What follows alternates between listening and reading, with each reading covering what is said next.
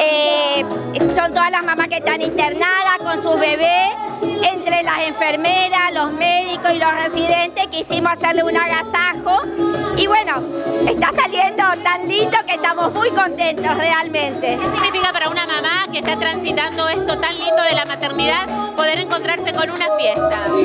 Y yo creo que les gusta porque ellas pasan mucho tiempo acá con nosotros, lejos de la familia, con toda la angustia veces quedaba esperar un bebé o por ahí que tenga, digamos, algo lindo que es la maternidad. Y bueno, y acá estamos festejando eso.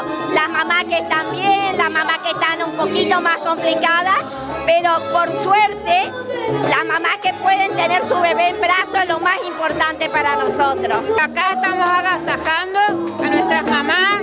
Es nuestro primer año como hospital materno Eloísa Torrent de Vidal.